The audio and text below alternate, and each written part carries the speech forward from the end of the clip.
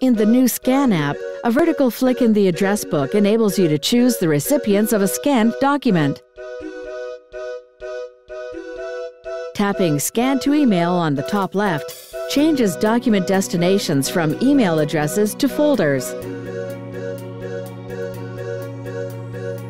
To directly type a recipient's email address, tap the plus icon on the left of the destination field and choose Enter using keyboard. You can then use the displayed keyboard to type the email address.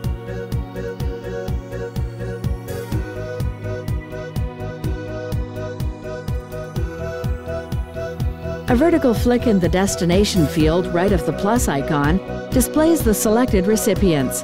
Tapping one of the recipients enables you to remove the recipient from the destination or manually add an input email address to the address book. The number of recipients selected as the destination is displayed to the right of the destination field. Scanning settings can be changed by tapping Send Settings on the right of the screen. In the Send Settings screen, you can specify a range of settings, including file type, resolution, file name, scanning density, whether to erase the center and border lines, and file security.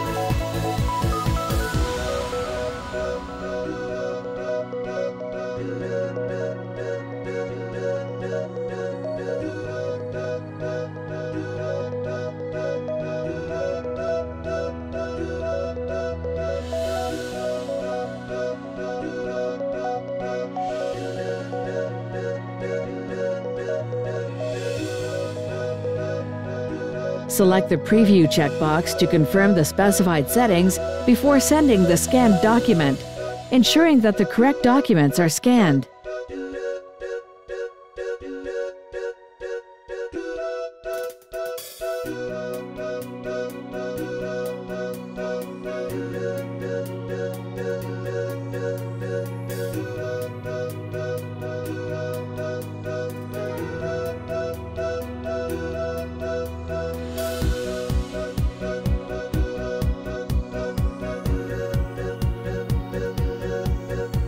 Tapping the menu key in the banner at the bottom of the screen enables you to store the selected recipients and altered settings as a program setting or as the default setting.